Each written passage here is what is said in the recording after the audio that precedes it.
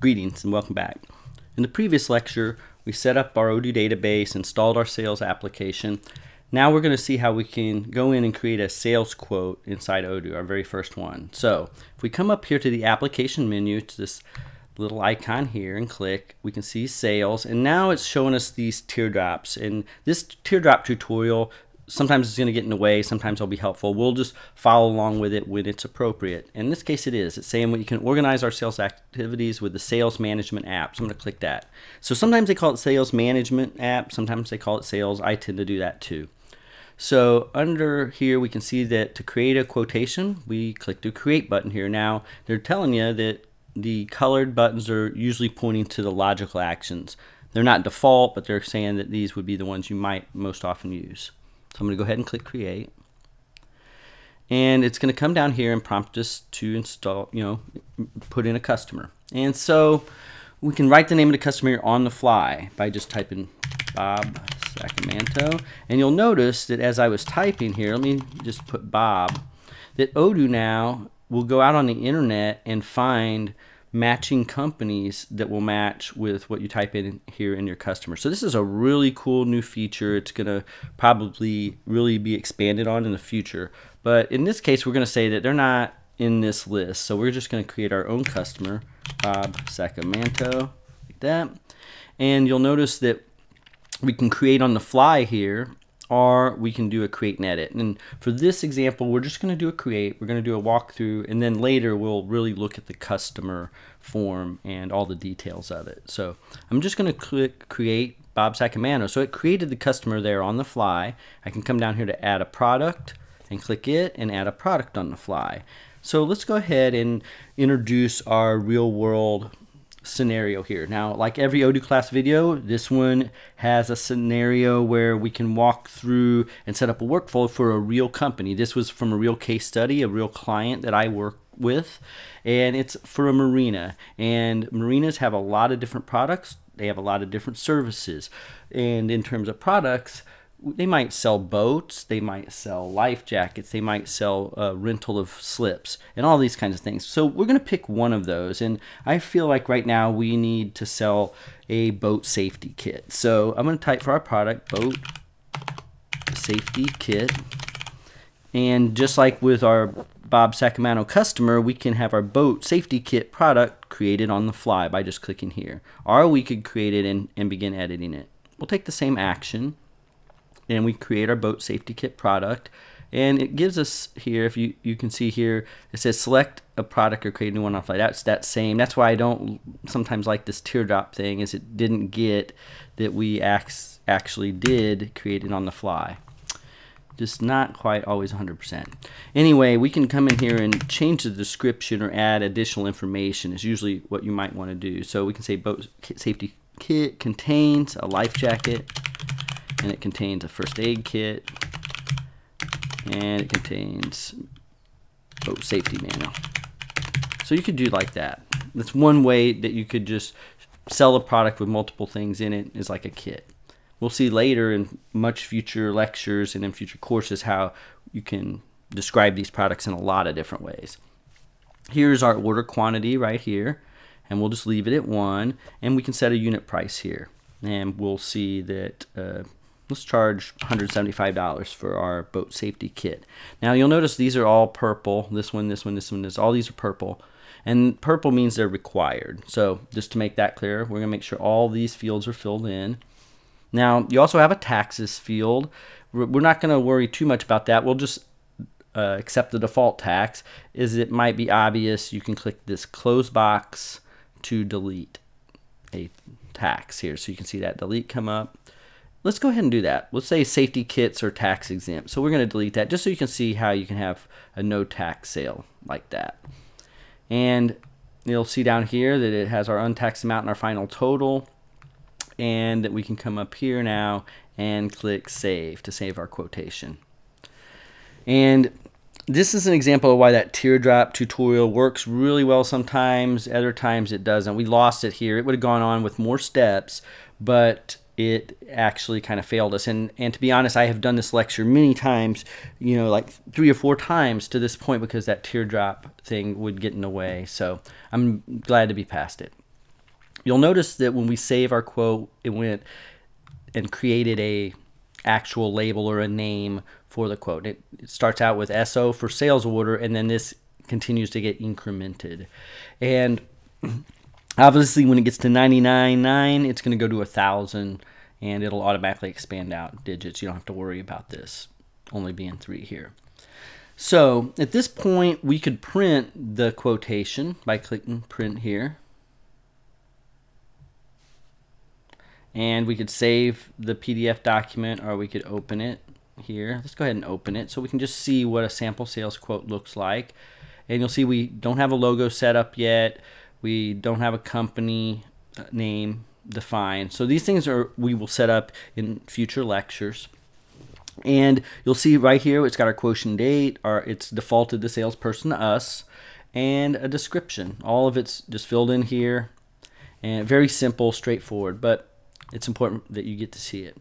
Now, at this point, we are only in a draft mode. It's a quotation. It's really not a full sales order here. And you'll see here that it, it knows that we actually did print it, however, and it assumes with that that we sent a quotation. If you needed to, you in in the past you'd be able to go here and change that back to quotation, but it's always going to know you sent it. So use some of these tags, you'll be able to click on them and change their states. In this case, this is not one of those. You won't be able to actually click and change states here we can confirm the, the quote by just clicking confirm. And at that point, you can see that it's going to change to show that we have an ordered quantity, we have a delivered quantity, and an invoiced quantity. So it's three different quantities that it's going to keep track of as we move this quote through the system. so if we come back up here and we click quotations again, you'll notice that we don't see any quotations in here now and it's because we have confirmed that and turned it into a sales order. We can come here under orders and click orders and now we'll see under here our sales order listed right that and we can also see that it is ready to be invoiced. So let's go ahead and click on it and we have a purple create invoice button. Remember that Purple buttons are usually the actions that are most common that you would use, such as editing it or creating it. So if we needed to, we could edit this order. Previous versions of Odoo, uh, I think back in like Odoo 9, maybe Odoo 10, I think. Actually, I think beginning in Odoo 10, you could edit sales orders after they've been confirmed. So I can come in here and edit and say, they need two of these boat safety kits, for example. So I can just two.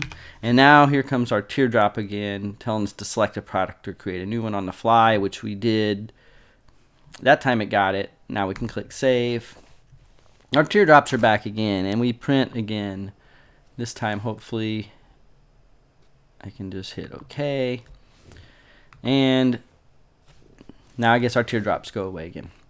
So now that we have our order we can we could lock it. And so rather than creating the invoice right now we could lock this order. And th at that point when you edit you're not going to be able to change anything so you can click on it and see details on it for example but you're not going to be able to edit any of these items on there. And I can notice that I didn't put in a price or it didn't save it. I thought I put in a price. So that's a little disconcerting that that happened at this stage and that I had locked it. So here's how we can fix that. I can click unlock to unlock it. We can now come down here to our unit price and let's put in $175 and save. So I apologize for the glitch, but it actually worked out. So you saw the reason of why you can have the lock and the unlock and it's actually useful. So I could lock it back down again once I fixed our unit price, for example. So now let's say we have our invoice or sales order exactly the way we want it, and we want to now create an invoice from it. So let's go ahead and click Create Invoice, and we're going to go ahead and click Create and View Invoices, just like that.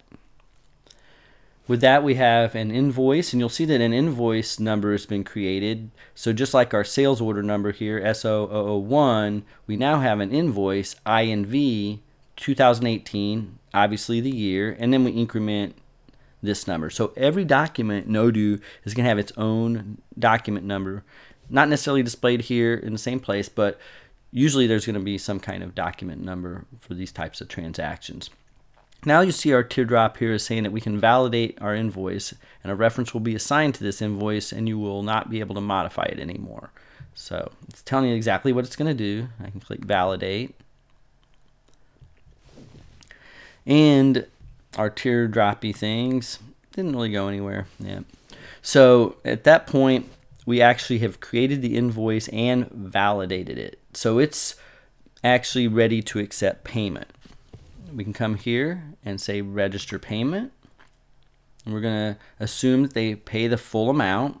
We have payment amount of 350 payment journal is to the bank we could say cash so these are the two payment journals that are set up by default and it has a payment date obviously defaulted to today's date. We could change that here if we needed to for any reason. So say we want to set the invoice tomorrow, we can do it just like that. And then there's a memo created that puts the the invoice number in here and it puts that 01 as in a reference to that this would be the first payment. In this case it's the full payment but that uh, that is exactly what that's for in case there's multiple payments. Now I can click validate. Again, purple is the most common action. And we're done. We've created a quote. We've confirmed that quote. We then took that quote, we confirmed, turned it into an invoice. And then finally, we validated that invoice. You'll see up here we have these breadcrumbs that if we needed to get back to the sales order, we could by clicking here. And then in order to get back to the sales order, we could click there. So those breadcrumbs are kind of handy, works the same way throughout there in Odoo. So with that, we're going to end this lecture. This was basically a, just a general walkthrough of the very basic sales order to invoicing process. For the most part, that is sales right there. That's the sales application from the very beginning to pretty much the very end. Now, in between, there's a lot more to learn, a lot more processes, a lot more ways you can configure Odoo. In the next lecture, in fact, we're going to take a look at this new dashboard up here that allows you, I should say it's like a, a configuration dashboard. It lets you walk through here how to configure sales and the whole Odoo installation for that matter. Uh, it's a nice little addition, and that's what we're going to take a look at in the next lecture.